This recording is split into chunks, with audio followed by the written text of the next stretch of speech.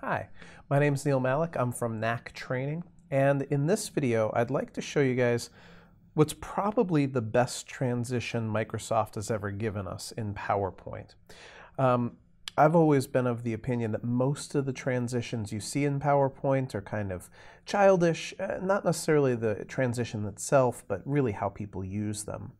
But here, we're going to talk about something called morph. And it's really, really very useful in terms of being able to make something transition over time and to have that seamless feel that something is moving across the screen and going to different states for you. So let me go ahead and show you what I would do with this scenario. Let's say that at first in my presentation, I wanted to talk and just briefly talk about the fact that we wanted to discuss our people, our tools, and the conversations that were happening inside the company. So I'd put these three icons on my screen. But then I wanted to transition from these three icons to three panels that gave a little bit more detail about these different sections. Now what I'll do is this. I'm going to go ahead and put in what those panels will turn into. I'm going to go ahead and put in shapes that will surround the people, the tool, and the conversation. So I'm going to go up to Insert at the top of the screen, insert a new shape, and what I'm going to do might not be the first impression for you.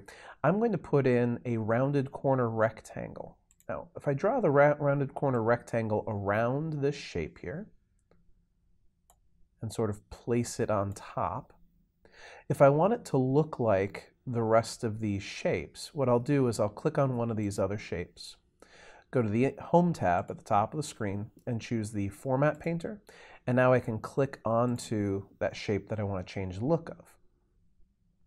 But I'm going to go another step further. What I'd like to have happen in my presentation is for this rectangle to actually be an oval at first. So I'm going to pull this little gold dot over and turn it into a perfect circle. And then lastly, I'll go ahead on the Arrange drop-down menu and choose Send to Back. And you can see here that we've got it lined up pretty well. And of course, I probably want the same thing for the tools and for the conversation. So I'll just go ahead and use Control D to duplicate that, line it up on top of the wrench, and again, arrange, send back, and then duplicate, arrange, send back, and just make sure that everything is lined up just right.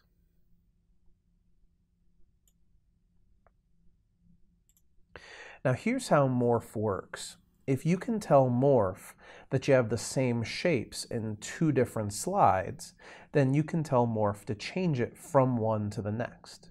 So I'm going to go over here to the slide on the left-hand side and use the Control D duplicate keyboard shortcut to make a second slide that looks exactly like the first. But now I'm going to make the changes that I want here. I'm going to scale this up, make it a little taller,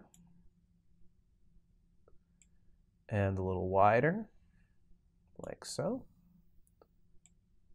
And like I said before, I don't want it to be an ellipse or a pill shape. What I want it to be is a rounded corner rectangle.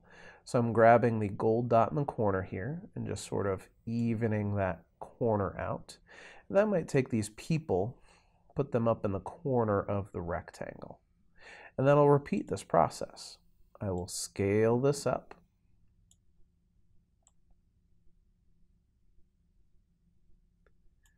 and then take the gold dot to make it more of just a nice soft corner rounding.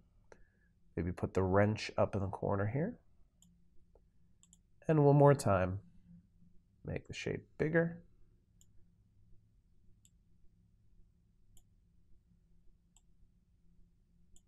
And take the rounding off the corners a bit. Looks like I didn't get quite tall enough. There we go. And then put that little conversation bubble up in the corner too. And you could see where I would complete this by putting some text in here in the three different boxes. But now what I've been able to do is I've been able to set it up so that I have two slides that have the same components, but they're in different positions, they're different sizes, all over the map. So now watch how easy this is. I just go to slide number two, go to the Transitions tab up here at the top of the screen and tell it to morph. You can see from the drop-down menu here that morph is just this very first transition type. And when you click on it, you can see there that the circles become rounded corner rectangles and that the shapes move into the corners.